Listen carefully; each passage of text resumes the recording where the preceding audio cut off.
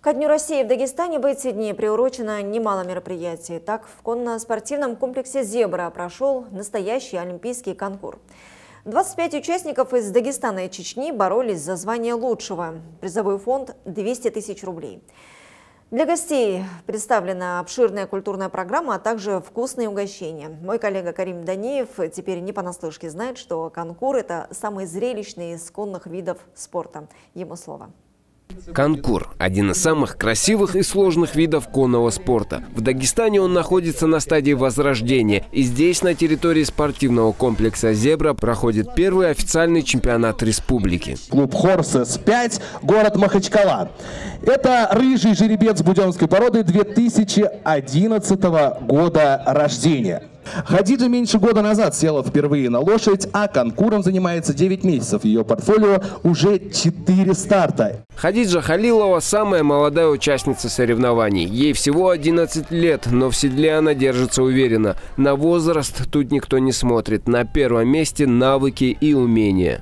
Часто выступаешь на соревнованиях? Ну да, как когда бывают соревнования, я всегда на них выступаю. Пока первых мест не было, но были и вторые, и третьи, и четвертые. Ну все впереди, да? Да. Как сегодня прошел заезд? Ты довольна или... Сегодня, ну, можно было и лучше, конечно, но так получилось. Всего в соревновании принимает участие 25 человек. Они оспаривают награды в трех дисциплинах с высотой препятствий 60, 80 и 100 сантиметров. Призовой фонд соревнования 200 тысяч рублей.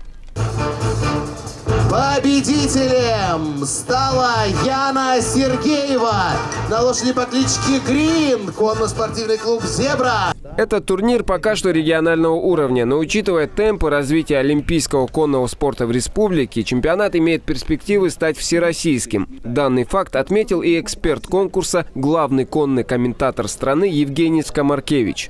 Ну, это муниципальные соревнования, будем говорить, на сегодняшний день, которые в скором времени, я думаю, перерастут в статус э, всероссийских соревнований. И сюда приедут лучшие представители нашей страны, и не только.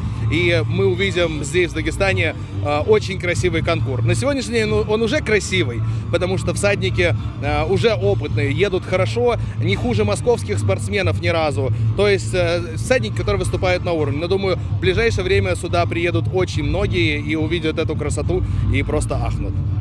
Ахнут. Ахнут, да. именно ахнут. Хорошо, спасибо большое. К лошадям у дагестанцев особая любовь, поэтому и трибуны полные. Соревнования посетили и значимые гости. Среди них духовный лидер республики шейх Ахмад Афанди, председатель Народного собрания Заур Эскендеров, а также другие официальные лица и известные спортсмены. Специально на чемпионат приехал и экс-мэр Олимпийского Сочи, а также представитель президента Совета Федерации конного спорта. Ну, это очень красивый вид спорта, олимпийский вид спорта.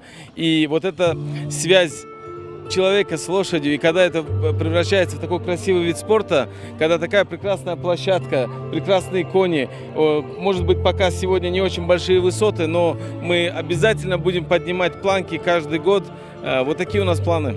Организаторы турнира позаботились и о маленьких зрителях соревнований. Вниманию детей и их родителей была представлена обширная культурная программа с выступлением аниматоров и другими развлечениями. Карим Даниев, Магомед Магомедов, Новости ННТ, Махачкала.